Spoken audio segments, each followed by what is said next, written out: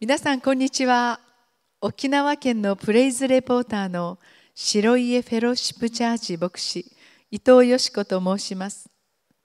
今回は7月1日から3日間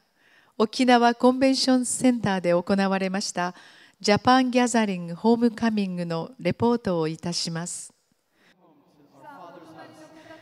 この大会は3日間にわたって7セッションで行われました。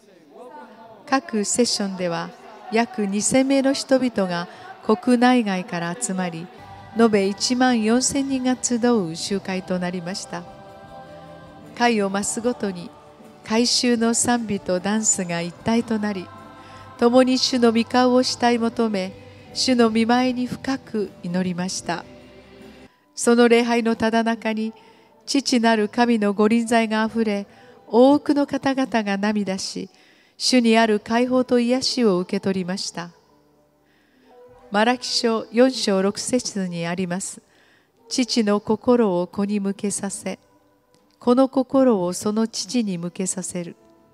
それは私が来て呪いでこの地を打ち滅ぼさないためだ。この御言葉をもって行われるデイビッド・デミアン氏率いるギャザリング運動はカナダで始まり香港台湾アジア諸国を精霊で満たし大いなる神の御業を展開し多くの人々にキリストによる解放と自由の喜びを与え続けている集会となっています。混迷を極めたこの時代に私たちが耳にする各メディアからの情報は世の終わりをありありと告げ知らせています。2014年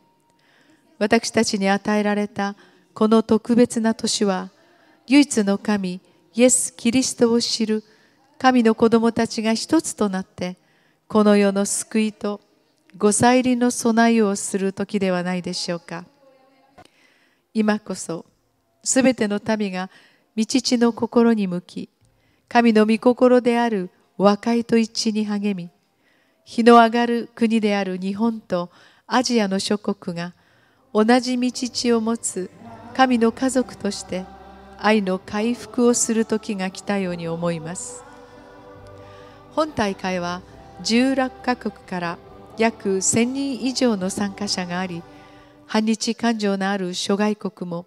今こそ日本の時だともろ手を挙げて参加されました。特に韓国中国日本の霊的リーダーたちが手を取り合い3日間毎日熱く祈り合い主の御前に共に立ちました。私たちは同じお箸を使う文化を持つ家族なんだ。私たちは長い間兄弟喧嘩をして天のお父さんを悲しませてきた。私たちはもともとは愛し合っていたんだ。と日本に対する苦い根が見事に打ち破られ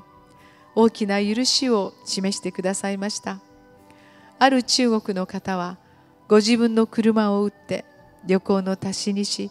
ある方は1年分の給料を日本に捧げてくださいました。振り返れば準備期間約1ヶ月というある意味無謀な試みであったにもかかわらず主は豊かに働いてくださり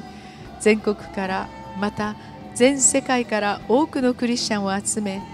私たち日本が立ち上がりますようにと